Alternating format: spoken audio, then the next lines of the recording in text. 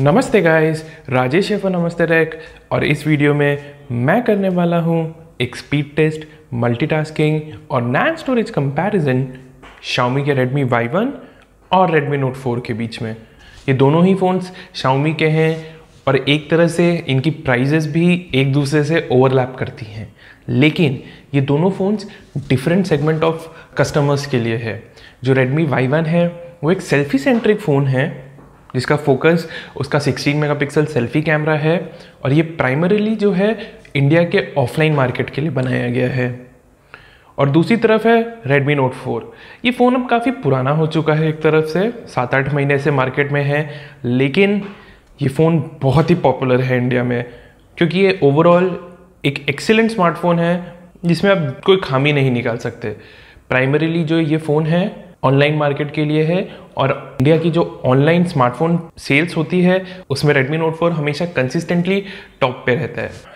Specs की बात करें तो जो Redmi Y1 है, उसमें एक ऑक्टा कोर स्नैपड्रैगन 435 चिपसेट है, जो कि 1.4 पॉइंट पे चलता है।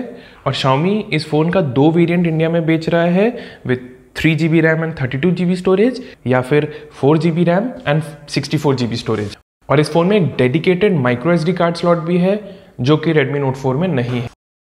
और दूसरी तरफ़ जो है Redmi Note 4 उसमें एक कॉलोकॉम का ऑक्टा कोर स्नैपड्रैगन 625 चिपसेट है, जो कि दो गीगाहर्ट्ज पे चलता है। और इस फ़ोन के तीन वेरिएंट्स अवेलेबल है इंडिया में विथ टू थ्री या four G B RAM and thirty two या सिक्सटी फोर जी बी की स्टोरेज स्पेस के साथ। इस वीडियो में हमने जो दोनों ही फ़ोन्स के वेरिएंट यूज़ किए हैं, दोनों में ही तीन जी बी रैम और थर्टी टू जी बी की स्टोरेज स्पेस है।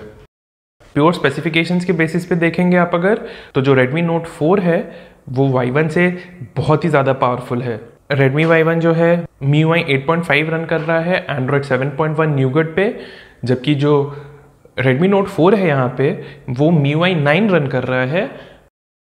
MIUI 9 और 8.5 के बीच में प्राइमरीली स्पीड इम्प्रूवमेंट ज़्यादा है तो जो Redmi Note 4 है, उसे इस कारण से स्पीड टेस्ट में एक ज़रूर एडवांटेज मिलेगा।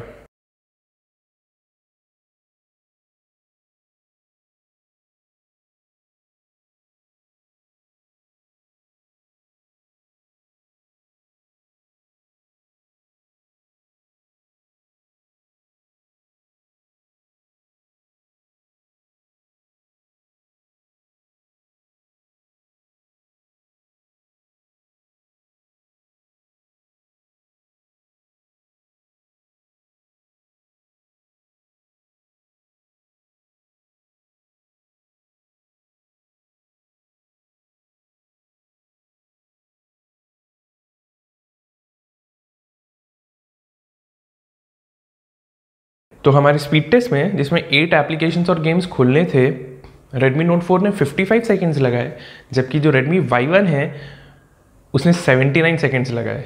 24 सेकेंड की डिफरेंस है दोनों ही फ़ोन्स के बीच में, जो कि बहुत ज़्यादा है। जो Redmi Y1 है, उसने गेम्स लोड करने में कुछ ज़्यादा ही टाइम लगा दिया स्पेशली एसफल्ट एट बाद में फ़ोन ने छोटे मोटे एप्लीकेशन जैसे कि एक्सेल और स्नैपसीड को बहुत जल्दी ज़रूर लोड किया, लेकिन तब तक जो Redmi Note 4 था, वो उससे बहुत आगे निकल चुका था। हमारे स्पीड टेस्ट के सेकेंड कंपैरिजन में, जिसमें ये सारे एप्लीकेशंस को फ़ोन की रैम से वापस लोड किया गया, Redmi Note 4 ने 22 सेकंड लगाए, जबकि Redmi Y1 ने 25 सेकंड लगाए। छोटा डिफरेंस है बट जो Redmi Note 4 है, वो यूज़ करने में Redmi Y1 से ज़्यादा स्मूथ लगते हैं। Redmi Y1 में आप एप्लीकेशंस लोड करते टाइम और जनरल ब्राउजिंग करते टाइम कभी कभी थोड़े स्किप्ड फ्रेम्स और स्टटर ज़रूर देखेंगे, जो कि Redmi Note 4 में एकदम भी विजिबल नहीं है।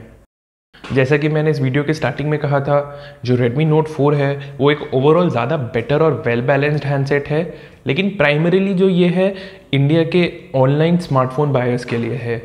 और जो Redmi Y1 है, वो एक सेल्फी सेंट्रिक फ़ोन है, जो कि ऑफलाइन मार्केट्स के लिए टारगेट किया गया है। तो इस वीडियो के लिए बस इतना ही, दोस्तों। अगर ये वीडियो आपको पसंद आई है तो अपने फ्रेंड्स और फैमिली के साथ ज़रूर शेयर करें और हमारे चैनल पर सब्सक्राइब करना ना भूलें। धन्यवाद।